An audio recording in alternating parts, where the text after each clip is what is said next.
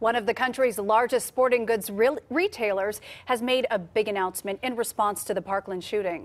The major changes are coming from Dick's Sporting Goods. Here's uh, Sandra Mitchell has details for us at certain stores. Yes, at certain stores, Dick's will no longer be selling these assault-style rifles. Pretty unusual for a company that sells guns to make such a bold move.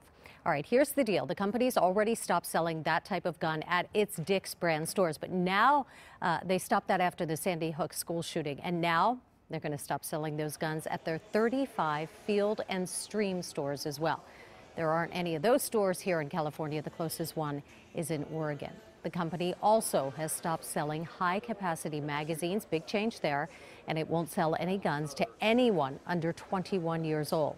Dick's CEO, Edward Stack, did some TV interviews this morning, and he had a startling revelation about the Parkland massacre.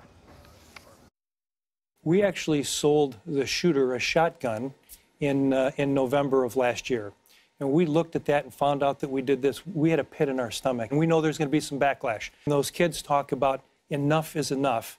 And we had meaningful conversations about this with our, our team. And we concluded that if these kids are brave enough to organize and do what they're doing, then we should be brave enough to take the stand. When he talked about the shooter, he was talking about the gunman in the Florida school shooting. In California, you can't buy an AR 15 unless you are law enforcement with special permission. That was a law that went into effect last year, and you might remember there was a rush to buy the rifles in the months before the ban. It's not the first time that big companies have stepped in, changed their strategy because of outrage about guns. It was four years ago after a deadly shooting at a church in South Carolina that Walmart stopped selling assault weapons.